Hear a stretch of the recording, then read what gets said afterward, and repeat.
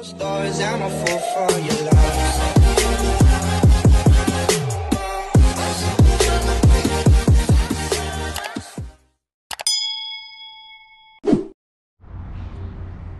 guys.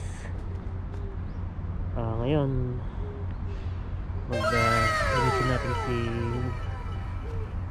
Merida. Inisin natin siya kasi matagal na siyang di nalilinis eh. tagal na nakastock tagal nang di nakakatikim na linis. Pero punas-punas lang mo. Kasi para pag nag-try tayo malinis naman. Tapos tanggalin muna natin yung mga nakasabit dyan para madali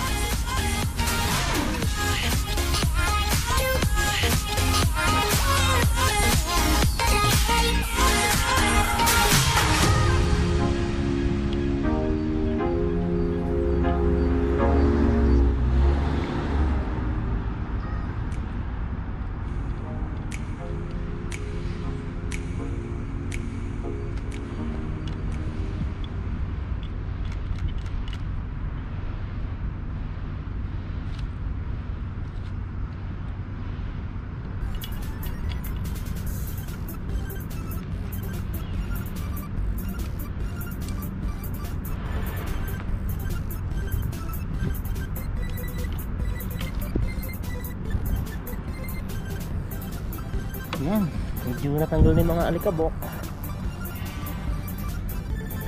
Medyo lagyan na lang natin ng pa, ano to, pang pakintab.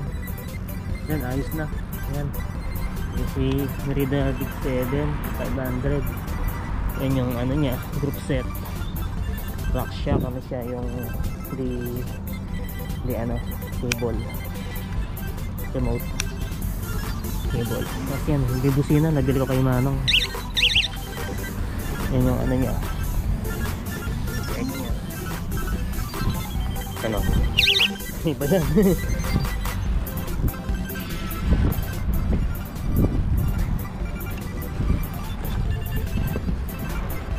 so, gamitan natin ng ano wax suit wax after nating i-brush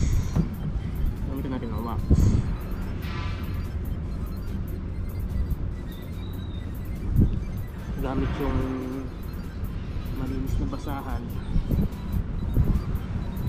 Spray natin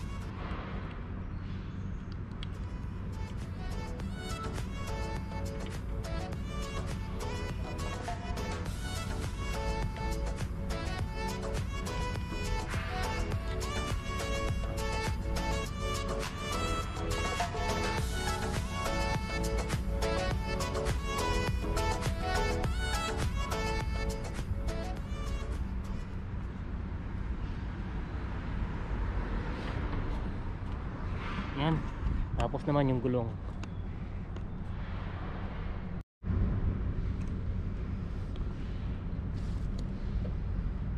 Yung gulong naman spray natin. Pero kumintab yung ano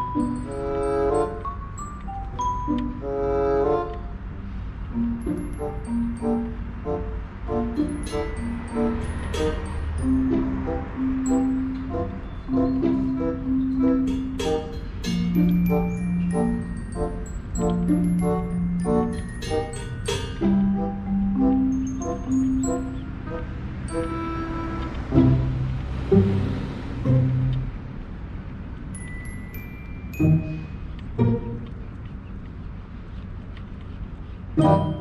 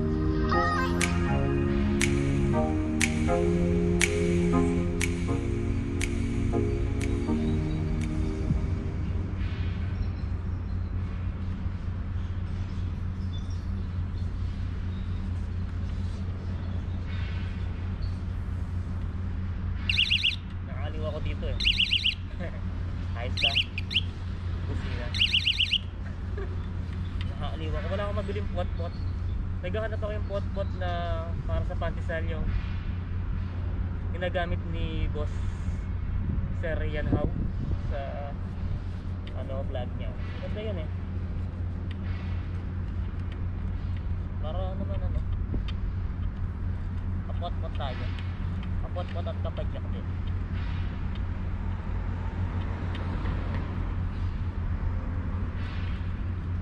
So yan. Simpleng linis lang. So ano. Sunod gamitin naman natin ng malinis na basahan yung dry na malinis para matanggal yung ano bagkit matanggal to